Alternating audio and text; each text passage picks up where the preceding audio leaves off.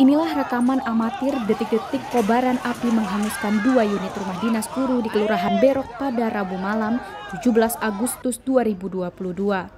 Kebakaran yang terjadi sekitar jam 20.00 waktu setempat ini diduga akibat adanya konsleting arus listrik di salah satu rumah dinas.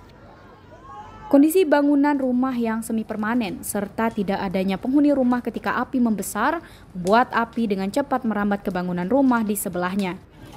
Tim pemadam kebakaran yang tiba di lokasi juga kesulitan untuk memadamkan kobaran api lantaran bangunan yang terbuat dari kayu sehingga mudah terbakar. Tidak ada korban jiwa dalam musibah kebakaran ini, namun kerugian ditaksir mencapai puluhan juta rupiah. Di malam seperti apa, Pak?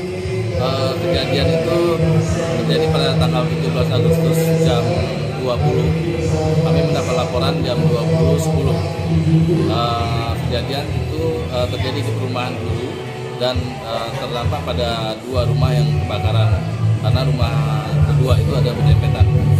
Ya, untuk korban jiwa? Untuk korban jiwa tidak ada. Oke. Hingga kini, pihak berwajib masih menyelidiki penyebab pasti kebakaran yang menghanguskan dua unit rumah dinas guru ini.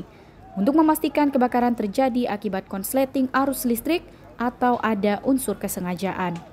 Dari Koba Bangka Tengah, Doni melaporkan.